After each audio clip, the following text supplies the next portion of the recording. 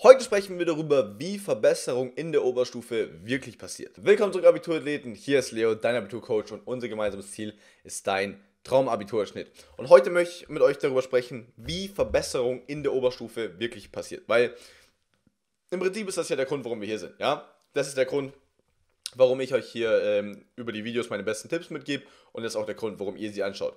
Wir wollen beide, du und ich, dafür sorgen, dass du in der Oberstufe besser wirst. Und die Frage ist jetzt natürlich, wie funktioniert das denn überhaupt? Und eine Sache, die ich denke ich in vielen Videos schon angerissen habe, aber so noch nie konkret gesagt habe, ist, dass es immer die Kombination aus der Umsetzung und der Strategie ist. Ja? Das bedeutet, habe ich ja jetzt einig, in einigen Videos sicherlich schon gesagt, dass es immer wieder Leute gibt, die machen so viel. Ja, die sind super motiviert, die wollen richtig gute Noten schreiben, sitzen den ganzen Tag am Schreibtisch, aber denen fehlt die richtige Strategie. Ja, und deswegen laufen sie die ganze Zeit wie so ein überdrehter Reifen, der, wo aber langsam der ganze Gummi abgeht und dann irgendwann nicht mehr fährt und dann sind sie kaputt und brechen die Schule ab, weil sie einfach so frustriert sind, dass die Noten nicht besser werden.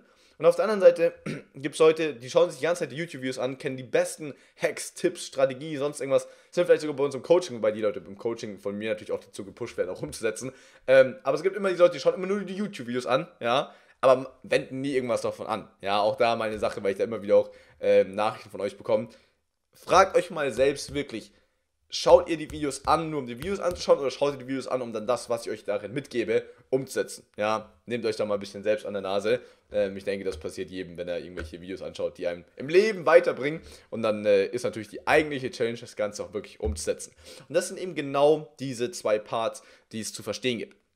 Und was jetzt oft passiert, ist, dass Leute, die, ich meine, diejenigen, die einfach sehr gut schon in der Strategie sind, aber noch keine gute Umsetzung haben, die werden irgendwann merken, okay, verdammt, ich muss einfach mehr machen. Ja, und dann werden sie irgendwann damit anfangen. Und auf der anderen Seite diejenigen, die die ganze Zeit was machen, aber die falsche Strategie haben, die werden irgendwann in ihrer Verzweiflung hoffentlich auf einen Blog oder auf die Videos hier kommen und merken, uh, es geht nicht darum, wie viele Stunden ich am Schreibtisch verbringe, sondern auch auf welche Art und Weise ich beispielsweise lerne. Ja?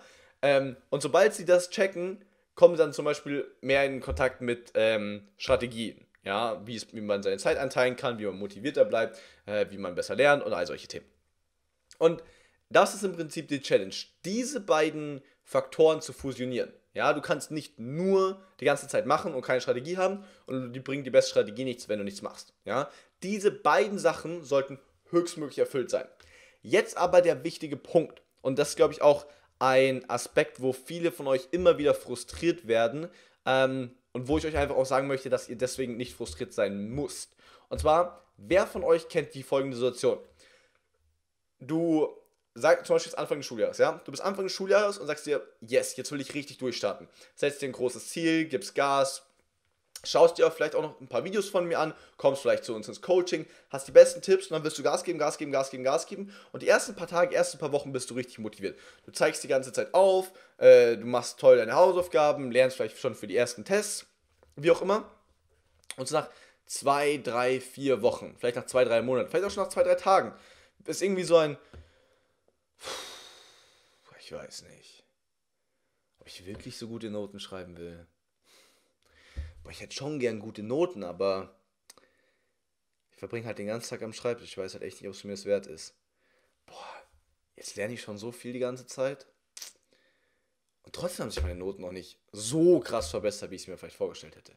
Und du fängst langsam an, dieses Ziel und die Motivation, die du dadurch bekommen hast, ähm, zu hinterfragen. Und du hast das Gefühl, oh, es geht nicht schnell genug, ähm, gestern habe ich meine Routine wieder nicht eingehalten. Boah, ich wollte auch eigentlich die Woche schon viel weiter sein. Jetzt bin ich, jetzt ist schon Donnerstag und ich bin erst da in Bezug auf die Klausur nächste Woche und so weiter. Und sobald diese Rückfälle wiederkommen, ja, es ist wie, wir versuchen ja, das, das ist der Punkt, den viele nicht verstehen. Ähm, sie denken oft, wir sind wie, wir Menschen wir sind wie so Roboter und wenn ich jetzt zum Beispiel euch einen Tipp gebe, dann hört ihr den einfach und dann kann man es einfach in die Maschine reindrücken und dann macht es blip und dann ist das drin und dann geht das nie wieder raus. Ja? So funktionieren wir Menschen nicht, sondern unser Gehirn ist einfach ein super komplexes, sich ständig weiterentwickelndes, neu erschaffendes System. Ähm, das bedeutet, wenn ich irgendeinen Tipp dir gebe, dann bekommst du den zwar, aber genauso bekommst du auch die ganze Zeit alle möglichen anderen Informationen. Oder du hast vielleicht versucht, vielleicht die ganze Zeit am Schreibtisch zu sitzen, aber du hast zum Beispiel auch den Impuls, irgendwie ans Handy zu gehen oder äh, Computerspiel zu spielen oder was auch immer. Ja? Und das musst du verstehen. Deswegen wird nämlich Entwicklung niemals so verlaufen. Ja? Es wird niemals so verlaufen. Es kann sein, dass es für einen Zeitraum so verläuft, aber also es muss eigentlich garantiert nicht so verlaufen, aber in, der, in den 99% aller Fällen funktioniert das nicht so, sondern in allermeisten Fällen hast du eine Phase, in der es nach oben geht und dann hast du, fällst du wieder kurz runter und dann merkst du, oh shit. Und das ist der Punkt, wo du denkst, vielleicht soll ich es einfach sein lassen. Ja? Wo so viele dann sagen, oh, ich bin mir nicht ganz sicher, ob das wirklich das Richtige ist, ob ich das wirklich schaffen kann und diese ganzen Punkte. Aber hier ist der entscheidende Punkt. Wenn du hier dann verstehst, hm, stimmt, ich wollte ja eigentlich so lernen. Ich wollte ja eigentlich mehr lernen. Ich wollte ja eigentlich mein Verhältnis mit dem Lehrer verbessern und so weiter. Dann checkst du auf einmal, oh, darum geht's und dann gehst du wieder weiter nach oben. Ja? Aber du fällst wieder runter und gehst wieder weiter nach oben. Du fällst wieder runter und gehst wieder weiter nach oben.